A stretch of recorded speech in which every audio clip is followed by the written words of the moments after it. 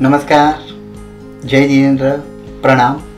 मैं Satish Jain from Rohini astro Vastu में आपका हार्दिक स्वागत करता हूँ। सबसे पहले मैं समझ चाहता हूँ कि मेरी साधना के कारण मैं पिछले महीने वीडियो नहीं दे पाया। आगे से ये वीडियो हम लोग कंटिन्यूटी में आएँगे और अलग अलग विषयों पर आपके प्रश्नों पर सारे वीडियो बनने जा रहे हैं। अगर आपके माइंड में कोई भी सवाल हो तो ज़रूर मुझे भेज देना है। हम उसके ऊपर वीडियो ज़रूर बनाएँगे। तो आज हम लोग बात कर रहे हैं social media. Social media means laptop mobile इसके फ़ायदे क्या है और नुकसान क्या है? और ज्योतिष की दृष्टि में भी इसका क्या असर गिरता है, उसके बारे में हम लोग बात करेंगे।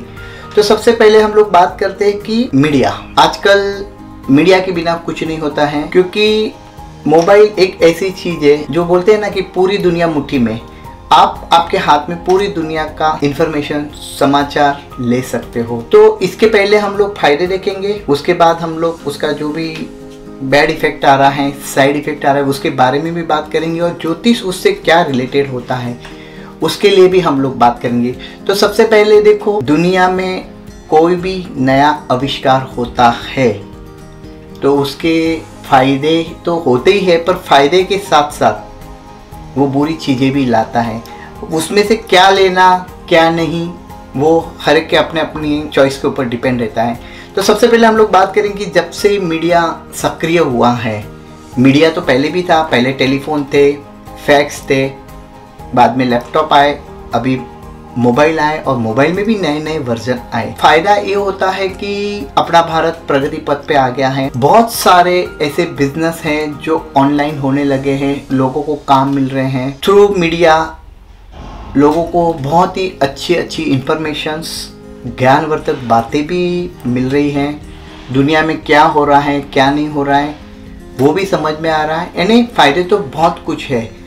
तो ये फ़ायदे कौन सा ग्रह इसको रिलेट करता है? कि इस जो फ़ायदे हो रहे हैं सोशल मीडिया के, उसमें जो है बुध ग्रह बहुत ही पावरफुल रहता है और गुरु। क्योंकि बुध और गुरु, बुद्ध यानी आपकी वाचा शक्ति, गुरु यानी ज्ञान। यानी लोगों को अच्छा सा ज्ञान थ्रू द मीडिया मिल रहा है। तो ये हो गई सोशल मीडिया की बातें कि इसके क्या क्या फ़ायदे हैं। बहुत सारे फ़ायदे हैं। अभी हम लोग जब कंपेयर करेंगे कि फ़ायदा और नुकसान तो उसमें आज के युग में इसके नुकसान ज़्यादा हो रहे हैं। मीडिया की बात आती है, स्पेशली मोबाइल की, क्योंकि आजकल लोगों को माँ बाप, भाई बहन नहीं रहा तो चलेंगे पर मोबाइल चाहिए। सुबह जब नींद से यंगस्टर या जो भी उठते हैं तो भगवान का मुँह देखने से पहले मोबाइल चेक करते कि अरे, मोबाइल मेरे बाजू में है क्या नहीं? किसका मैसेज आया कि नहीं आया है? आजकल बहुत सारे यंगस्टर हैं जो web series porn game PUBG वगैरह में इतने बिज़ी हो गए हैं कि उनके पास पढ़ाई फैमिली के लिए टाइम नहीं, एक सबसे बड़ा बैकलॉग है इस मीडिया का। इस मीडिया के कारण लोग उसका जो फ़ायदा उठाना चाहते थे, वो नहीं उठा रहे गैर फ़ायदा ज़्यादा उठा रहे आजकल छोटे बच्चे भी जब खाना खाते हैं तो उनकी माएँ उनको मोबाइल फ़ोन चालू करके कार्टून दिखाते दिखाते खाना खिलाते हैं। यानी वो उसके एडिक्टेड हो गए हैं कि मोबाइल चालू रहेगा तो भी खाना खाते हैं। यानी सबसे बड़ा बैकलॉग है अपने मोबाइल का।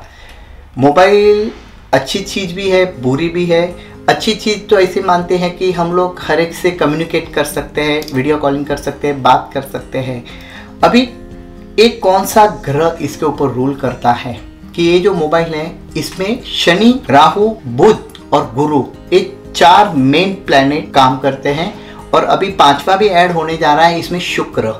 तो पहले हम लोग शुक्र की बात करेंगे क्योंकि पहले मोबाइल सादे आते थे, ये आते थे, पर आजकल शुक्र यानी वीनस वीनस यानी संपन्नता।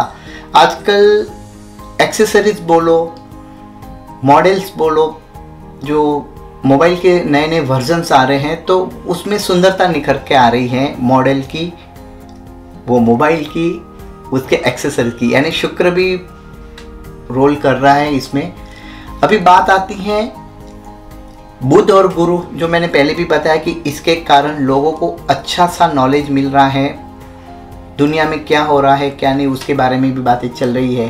अभी माइनस पॉइंट पे आते हैं कि जब राहु और शनि सक्रिय होते हैं थ्रू द मोबाइल तो राहु के कारण लोग माया जाल में फंसते हैं। आपने देखा भी रहेगा कि बहुत सारे फ्रॉड फेसबुक बोलो इंस्टा बोलो, इसके ऊपर हो रहे हैं। लोगों, अनजाने लोगों से पहचान होके लोग उनके ऊपर ब्लाइंडली फेथ करके स्पेशली लड़कियाँ जो है, प्यार में फंस जाती है और भाग के भी जाती है। बच्चे लोग, जो राहु जब सक्रिय होता है तो उनके आँखों पे पट्टी आ जाती है। जो चीज़ नहीं देखनी चाहिए, वो इस मीडिया के थ्रू देख रहे हैं, मोबाइल के थ्रू देख रहे हैं। तो इसका तो सॉल्यूशन एक ही है कि हमें मोबाइल कितना यूज़ करना है, ये हमारे ऊपर है। वैज्ञानिकों ने इन्वेंट्री तो कर दी है अच्छी, पर उसका कितना फ़ायदा उठाना है, ये हमारे ऊपर है कि हम इसका सदुपयोग सदुपयोग करें या दुरुपयोग करें। तो आजकल मोबाइल का जो फैड बना हुआ है तो इसमें सद बुद्धि। यानी सद विवेक बुद्धि का वापर करके उसका यूज़ किया तो निश्चित रूप से ये जो सोशल मीडिया है, ये जो मोबाइल है, आपके लिए लाभदायक रहेगा।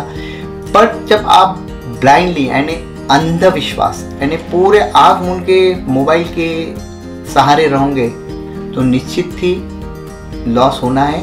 वैसे तो बहुत सारा टॉपिक लंबा हो सकता है पर हमारा प्रिंसिपल है कि हमारे वीडियो चार और पाँच मिनट के बनते हैं ताकि लोगों को अच्छी सी इंफॉर्मेशन मिले। आशा करता हूँ ये जो सोशल मीडिया का वीडियो है, आपको पसंद आएगा। जय जिनेन्द्र, प्रणाम, नमस्कार।